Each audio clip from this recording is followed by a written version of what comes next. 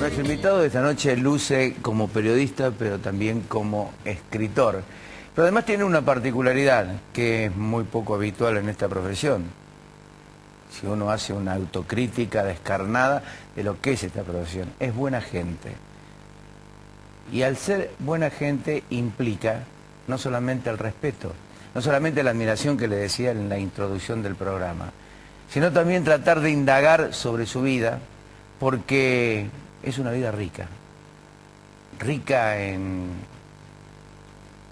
situaciones, rica por la profesionalidad que le ha puesto a todo lo que hace, y rica porque, naturalmente, es un hombre que le ha puesto a la profesión todo lo que tenía.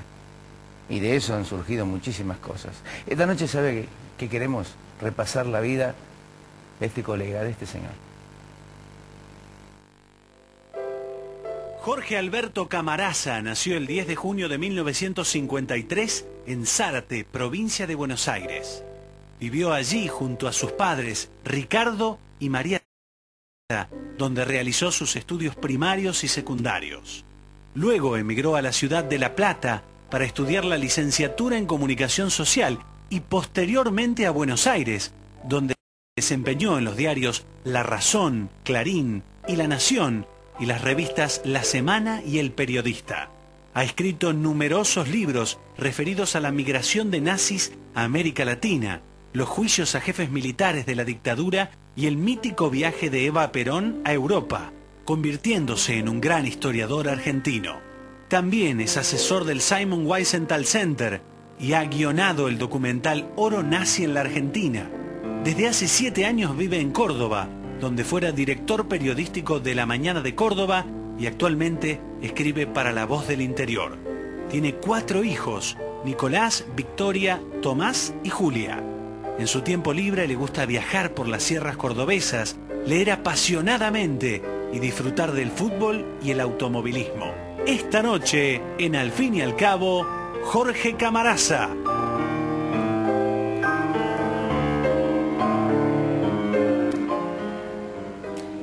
Anda, amigo? ¿Cómo le va? Sorprendido con las fotos. ¿Has sorprendido con las fotos? ¿Te trae muchos recuerdos esto? Sí, claro. ¿Eh? Sí, sí, sí, sí. ¿Cómo anda Jorge? ¿Bien? Muy bien, muy ¿Eh? bien.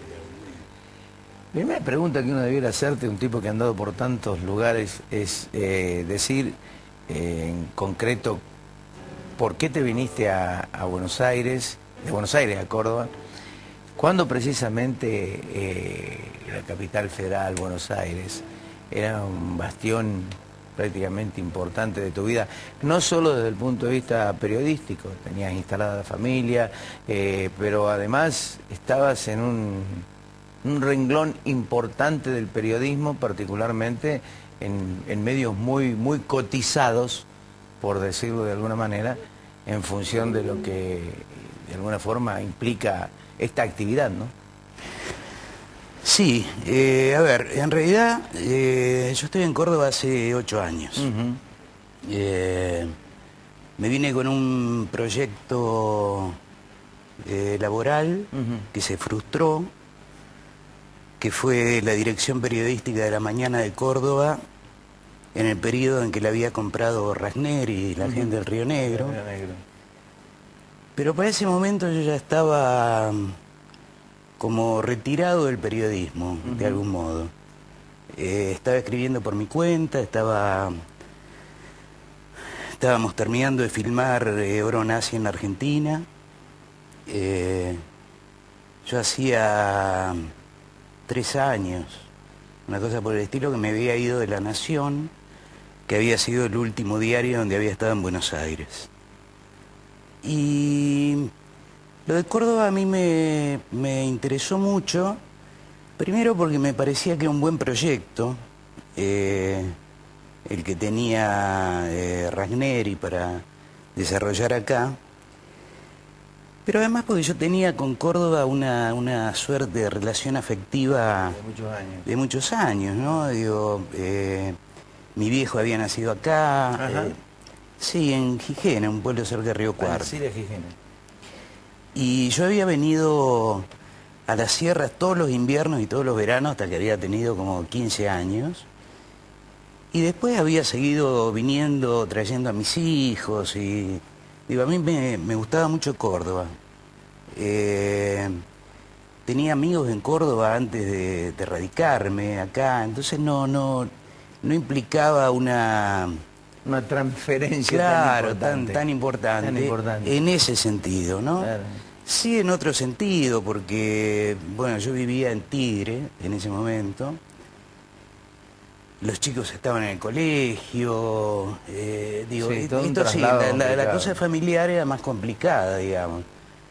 Pero en lo laboral, eh, por, el tipo de cosas que yo hacía, en realidad las podía hacer acá, allá, en, cualquier otro lado. Y esta, esta expectativa, este ensayo periodístico, eh, me parecía que podía ser interesante. ¿Es cierto que cuando llegaste te compraste un GPS? Me compré un GPS a los 10 días, una cosa por el estilo. ¿Tenés miedo de perderte? No, no tenía miedo. El GPS en ese momento, te digo, era, estamos hablando hace 8 años. 8 años, era una emoción total y absoluta. Claro, era, era un delirio.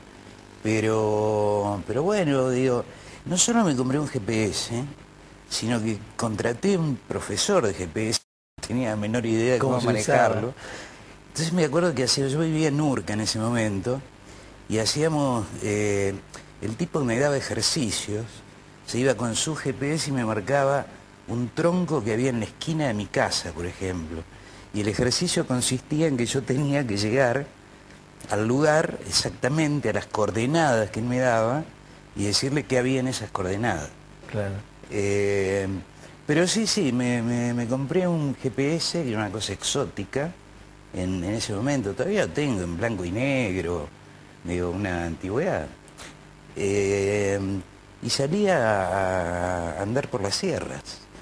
¿Qué te seduce más en el marco de la profesión? ¿Ser periodista de opinión, editorialista, periodista y escritor o todo al mismo tiempo? Sí, a mí eh, como género lo que más me gusta es el, reportaje. El reportaje a la, digo, no la entrevista, ¿no? sino el reportaje a la manera americana o europea. Eh, me parece que, es como lo, más totalizador y lo que te permite mejor contar una historia, ¿no? Donde entra el personaje, el paisaje, la historia en sí. Eso es lo, que más me gusta. Y que eh, de algún modo era, era lo que había hecho... Eh, en, La Nación en los cinco años que estuve. Ahí habíamos formado una, una unidad de periodismo de investigación con Santiago Donel y Gabriel Pasquini y, trabajábamos esto. Trabajábamos historias eh, desde este punto de vista muy amplio, ¿no? que te digo. Ahora, cuando eh, decís, bueno, eh, en un determinado momento uno va quemando etapas en la vida, ¿no? Es decir, va llegando a techos. Es decir, voy a intentar con otra cosa. ¿Cuándo, ¿Cuáles fueron esos techos para vos decir, bueno, de esto me voy, inicio otra cosa? No, no sé.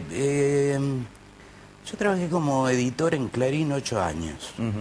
Y la verdad que eso me cansó bastante, fue bastante agotador. Yo era editor de Información General y Policiales, que son secciones terribles en un diario. Agotante. Eh, porque, digo, es como, como el, todo lo que sobra en el resto de las secciones del diario va información, general. Entonces es como que no se termina nunca, es una sección muy difusa que no tiene límites y todo eso y el, esfuerzo que te exige la demanda eh, de, tiempo y de pila y de energía es, muy grande.